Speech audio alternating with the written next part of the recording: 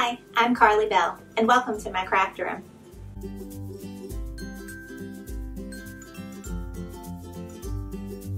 Today I am trying out a brand new project, so this will be new for me and new for you. but uh, I think it's going to be pretty straightforward, but what I want to do is applique and embroider a piece of material and then turn this material into a little toddler pillow. So normally when I buy fabric for, if I'm just using it for embroidery, I just get a quarter yard of fabric. And so that's what I did. I, I went to Hobby Lobby the other day and I got a quarter yard of this blue material. And I ended up cutting a little bit off the end here um, and decided this would be a good size for a child's pillow. So I, since it's a little bit of an oblong pillow, um, I thought the 5 by 12 repositionable hoop um, would be nice so that I can put a name and then like an applique design across the whole front of the pillow. So I think it should be pretty easy. So let's go ahead and get started and hoop the fabric. Okay, here is my piece of fabric and it's still folded in half here and I'm going to figure out my placement. And I'm to do my same method I always use, using the grid that comes with the hoop you're working with, and just a ruler to figure out um, the center of the item.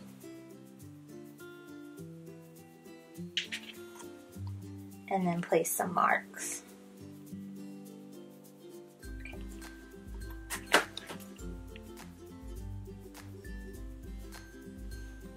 And then use the disappearing ink fabric marker.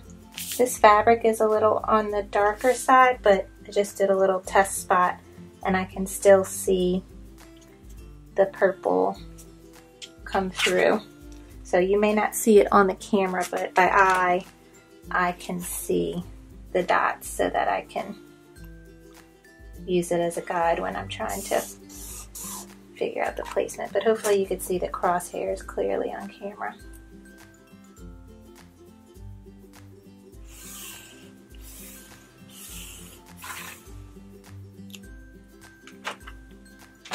Okay, so yeah, so that's nice and visible. So we have that. Um, since this is a thin piece of material, I'm going to use medium weight cutaway stabilizer. So I'm going to place my hoop. I'm just going to place the stabilizer on top, place the fabric on top, and kind of eyeball what the center should be.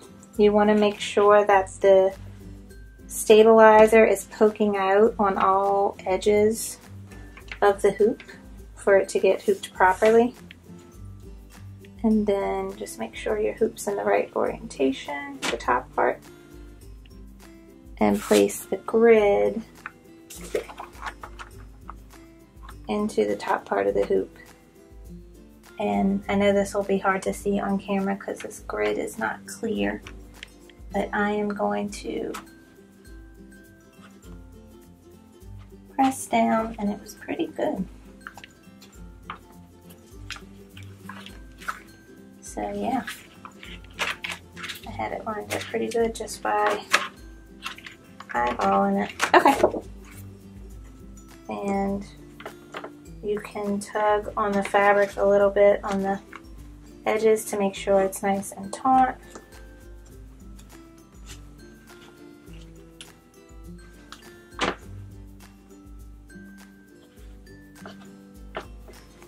Make sure the hoop's pushed down all the way and then tighten this. Um, the repositionable hoop has the screw in the upper right corner. It's a little bit different than my other hoops. Alright.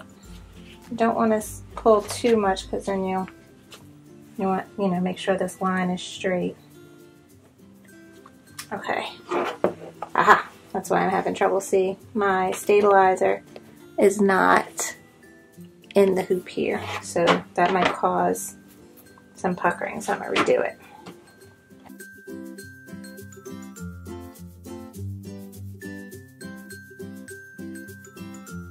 Okay, so once you have it hooped, make sure your stabilizer is going through and then tighten the top.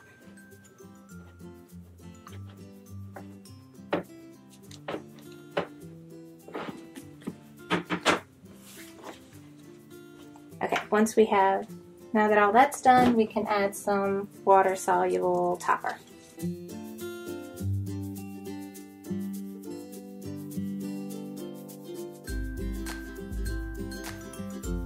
Okay, so we are all set and ready to go to the machine. So now I'm ready to make the design that I want to put on my pillow. So first off, I'm going to change the hoop to the 5 by 12 repositionable hoop, um, which is also called the 130 by 300 jumbo hoop, um, and hit OK. And then I also need to rotate it 90 degrees and hit apply. Okay, so now I'm going to zoom out a little bit. And I want to do a space rocket theme. So I have this um, spaceship applique design. I got it from Stitch Away applique, but they are no longer in business. But I'm going to try and find another applique design that is similar to this and post a link in the description box below if you are looking for something like this. So, and it pasted right where I wanted it, so on this side of the hoop. And this is one of the things I love about Embrilliance. So, well, first let me add the name. So, I love Embrilliance because it has BX fonts and then I'm going to show you after I add this. So here's my font that I want to do. And for SAT, and I'm going to move that over here.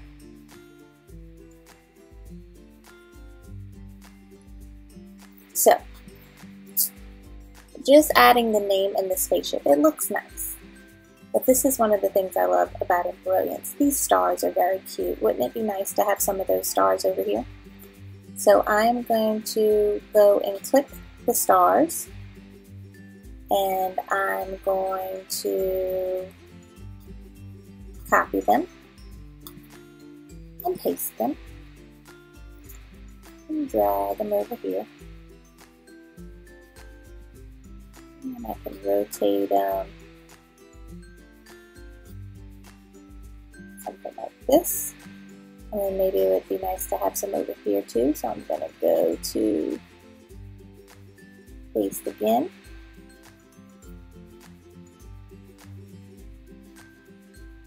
Put those over here. Maybe change it up a little. There we go.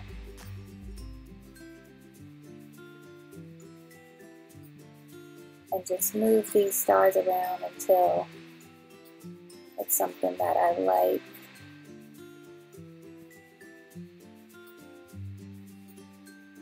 For this name.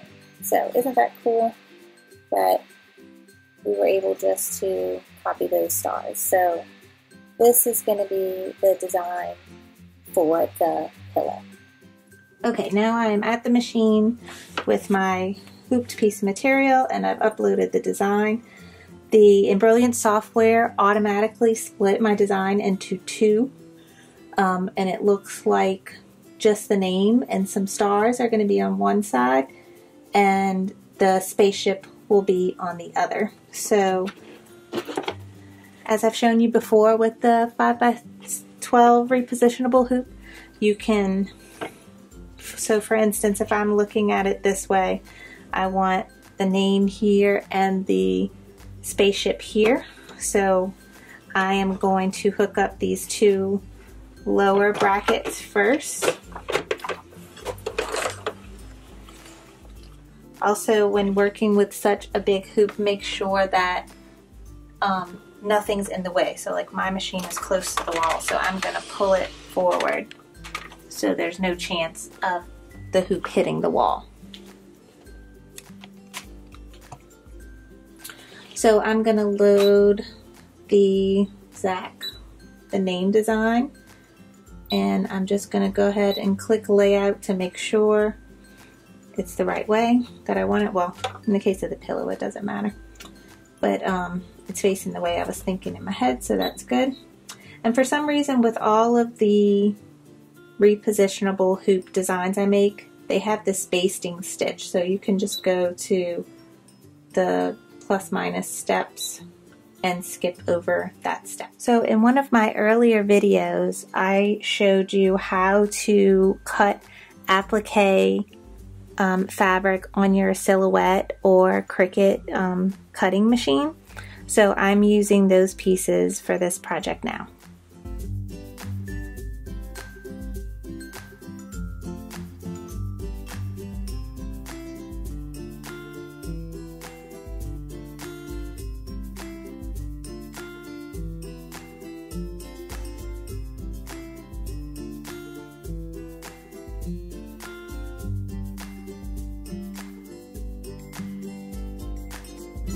The first part of the design is now done, so I'm going to lift the presser foot, take the hoop off, and now I'm going to move it to the back two um, brackets and load the next design. And now I'm just going to stitch out all of the applique placement stitches and for this applique, I'll do the traditional way of cutting a square piece of fabric big enough and then trim the applique after the tack down stitch.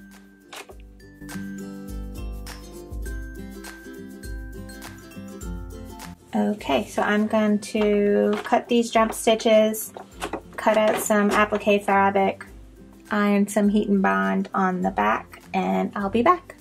Here I have my uh, three applique um, pieces of material and I ironed heat and bond light on the back of them so you then just peel the paper off and then we'll iron these pieces after they're done tacking down.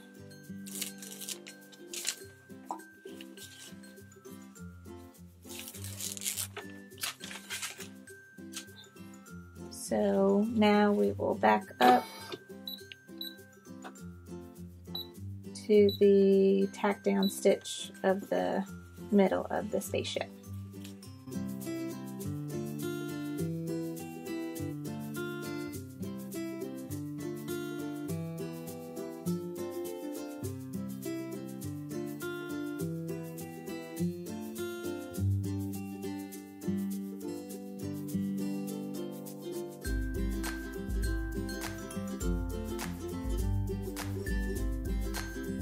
Okay, so since all of the applique is done now and I still have the yellow thread loaded, I'm gonna go ahead and skip ahead and do the stars for this design and then go back and do the satin stitch for all of the applique.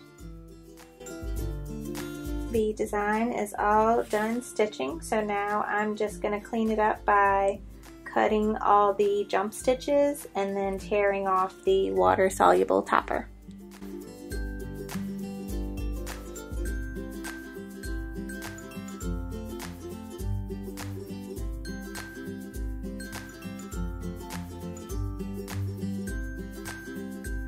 Since um, these applique letters have rough um, fabric edges, there's no like nice seam line to that the soluble topper will just tear.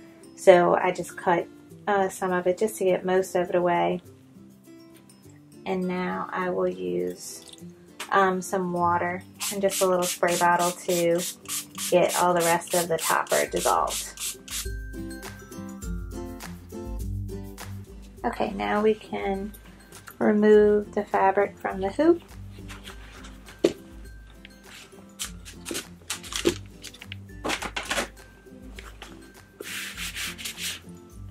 And we can cut most of this stabilizer away.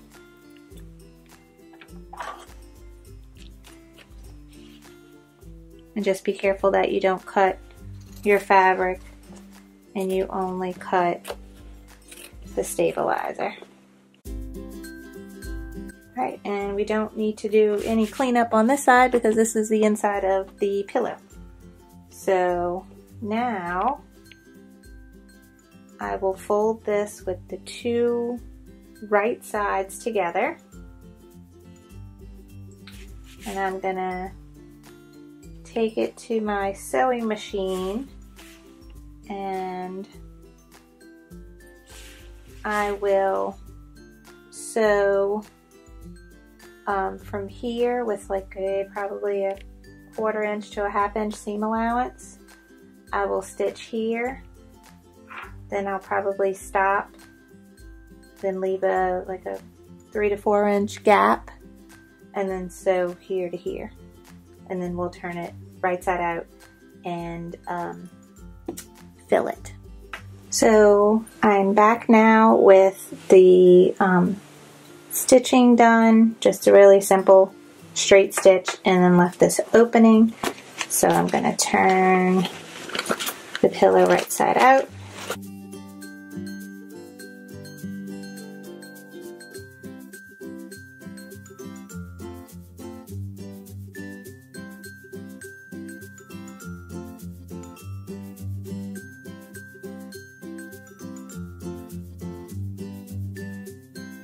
Also now would be a good time to iron your applique um, fabrics to activate the heat and bond uh, light that's underneath them.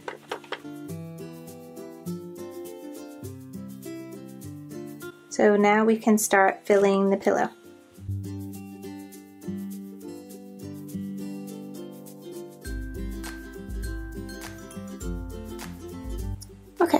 Think that looks about good. So now I am going to go back to the sewing machine I'm going to pin this hole shut and then I am going to do a white top stitch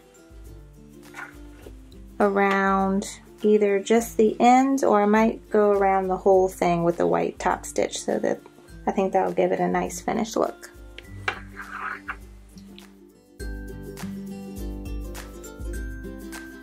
So I am all done doing the side stitches on, I ended up doing a top stitch on both of the sides of the pillow and that closed the hole that I had for um, adding all the stuffing in. I just folded the edges in so it's still a smooth edge and now it has top stitching on both sides. So uh, I think this came out pretty good, especially for deciding to want to make a pillow on the whim. um, and I think my um, cousin's little boy is going to like it. So this is cute as a throw pillow on a bed or um, this is going to go with a blanket that my mom bought for him for his birthday. So uh, I hope you enjoyed today's project and that you learned a little bit about the 5x12 hoop, um, applique, and you can see my previous video on how to cut the applique um, fabric using your silhouette or Cricut um, machine with the rotary blade. And that's it. So if you have any questions please leave them in the comments below. Um, also check out my Facebook group for beginner embroidery um, machine um, advice and tutorials and other crafts um, such as vinyl and sewing. Um, if you have any questions about other things I do in my craft room, check out my website, karliebelle.com. And if you like today's video, please give it a thumbs up and click the subscribe button to see other things that are going on in my craft room. Hope everyone has a good day, and I'll see y'all next time. Bye.